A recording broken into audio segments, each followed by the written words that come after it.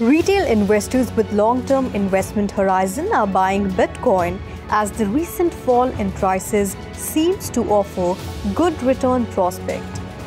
Further, the signs of price reversal are getting reflected in the most popular cryptocurrency.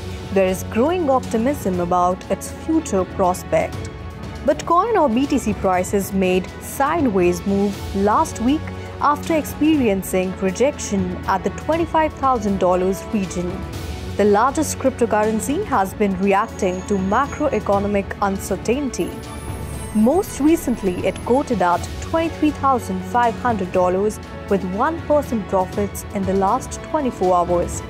BTC continues to flash long term buying signals.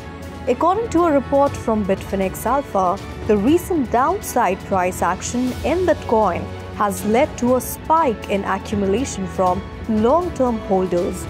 These investors took advantage of the decrease in the BTC price to accumulate massive amounts of cryptocurrency. The report claims that long term Bitcoin holders bought over 18,000 BTC in the past week.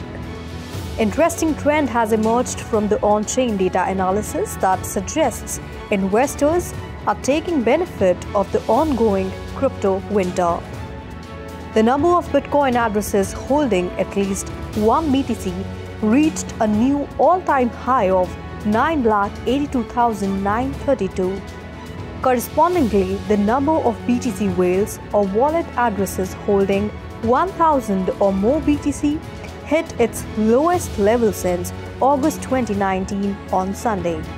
Data provided by blockchain analytics platform Glassnode shows that the percentage of Bitcoin that has not been moved for at least one year just reached a new all time high of 67%, and the percentage of BTC not moved for at least five years just hit a new all time high of 28.3%.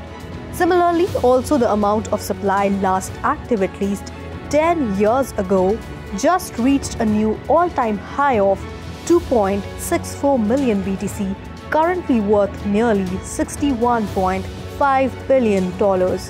All of this data point to an increasingly shrinking Bitcoin's real supply, as many of those old wallets with significant holdings are not likely to ever come back to life.